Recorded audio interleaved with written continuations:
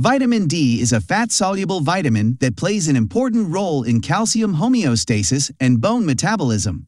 It functions by stimulating intestinal calcium and phosphorus absorption, by stimulating bone calcium mobilization, and by increasing reabsorption of calcium into the blood. As a result of these functions, serum calcium and phosphorus concentrations are maintained at a healthy level, which is required for the proper mineralization of bones, enzymatic activity, and other cellular functions.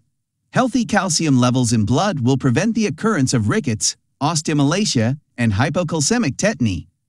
Vitamin D deficiency can result from inadequate exposure to sunlight, malabsorption, poor diet, accelerated catabolism of calcium due to medications, and in infants, the minimal amount of vitamin D found in breast milk.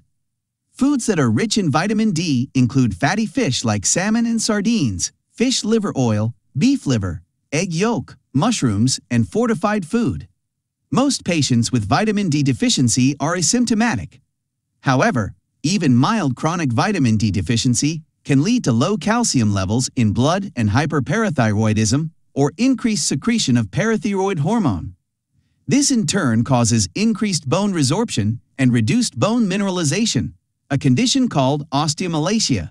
The bones of these people are very fragile and are at risk of undergoing fractures even with minimal strain. In addition, patients with a prolonged and severe vitamin D deficiency can experience symptoms associated with secondary hyperparathyroidism. Some of these include bone pain, arthralgias or joint pain, myalgias or muscle pain, fatigue, muscle twitching, also known as fasciculations and weakness. In children, deficiency of vitamin D manifests as rickets. Here, defective bone mineralization leads to bowling of bones with straining. These children are often found to have started walking late or prefer to sit down for prolonged periods. In addition, these children will have symptoms such as irritability, lethargy, and developmental delay.